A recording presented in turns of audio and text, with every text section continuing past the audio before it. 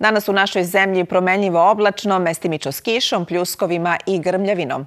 U zapadnim, centralnim, istočnim i južnim krajevima na snazi je žuti meteoalarm, a temperature su malo ispod prosečnih vrednosti za ovo doba godine.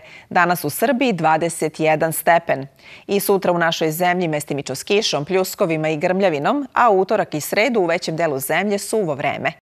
U Srbiji promenljivo oblačno, mestimično s kišom ili lokalnim pljuskovima s grmljavinom. Vetar slab i umeren, na severu i istoku zemlje povremeno i jak, zapadni i severozapadni, uveče u slabljenju. Najviša dnevna temperatura od 16 do 21 stepen.